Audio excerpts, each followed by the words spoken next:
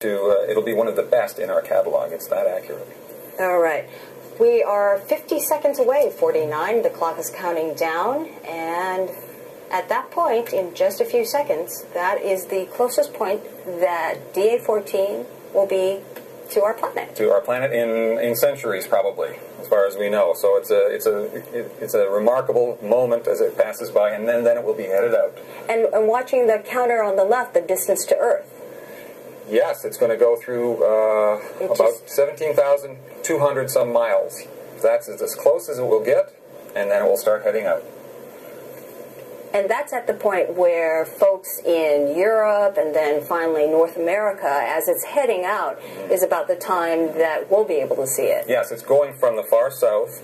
Now it's over the equator, and it will be heading straight north and going essentially near the North Pole. So now we will have the polars uh, in the sky, and we'll have a chance to see it from the northern hemisphere now. All right.